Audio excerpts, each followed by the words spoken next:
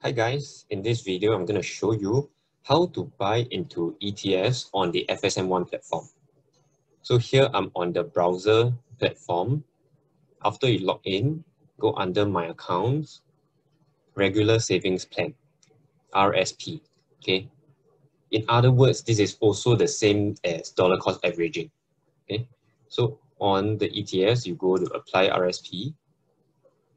So you can read the instructions here so here, basically, we are going to choose the ETF that we want to invest in. So for example, if we want S&P 500, so let's say I'm going to choose the Vanguard S&P 500 ETF, okay, ticker symbol VOO. And minimum sum per month is 50 Sing dollars. Okay, so I'm going to add this. So here you can also select multiple ETFs. So for example, you can also choose to invest in the famous ARK ETFs, okay?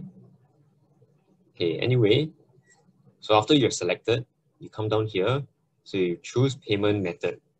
So Sing dollars and monthly amount. So the monthly sum is 50, but I would recommend you to go at least $150 per month. Okay. And I'll explain why later. So let's go proceed to checkout.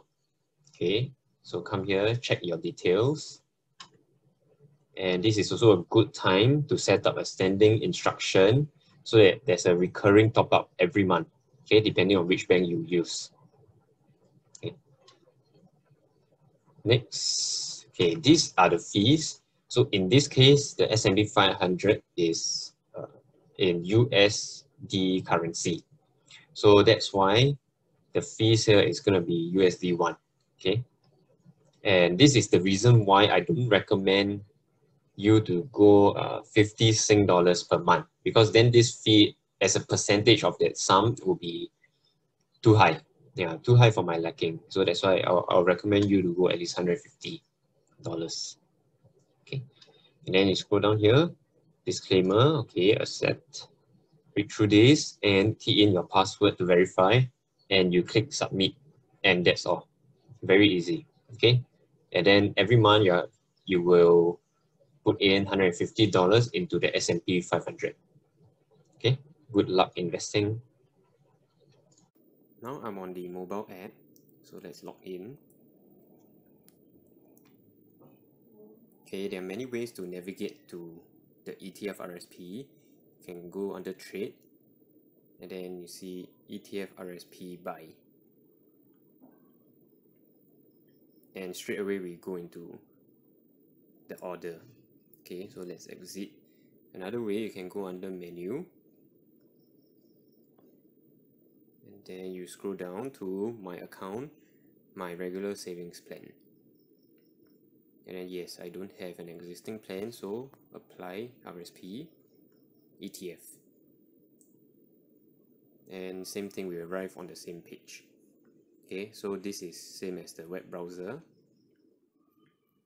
read through this, scroll down, and here we get to choose the ETF that we want.